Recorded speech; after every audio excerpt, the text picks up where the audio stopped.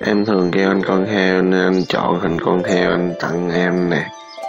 Chúc em một ngày vui vẻ nha, baby. I love you. Ây da muốn cắn một cái quá đi. Bye bye, baby.